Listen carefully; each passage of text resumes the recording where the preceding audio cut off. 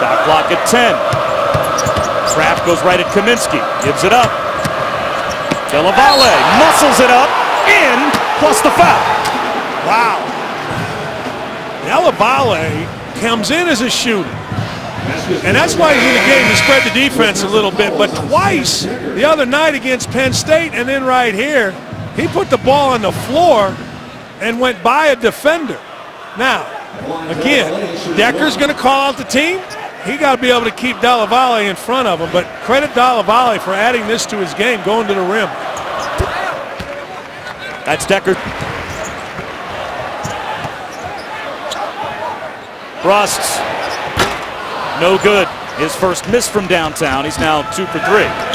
Della Valle left alone. In rhythm, hits a triple. That's why he's in there. As I said earlier, that Quentin Ross has been on the bench for a while as well for Ohio State.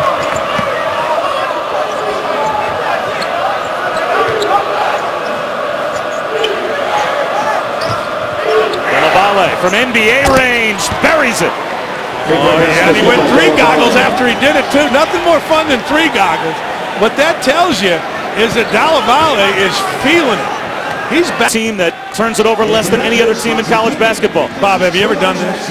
All the time. So much fun. I play every Wednesday night with a bunch of, you know, big guys.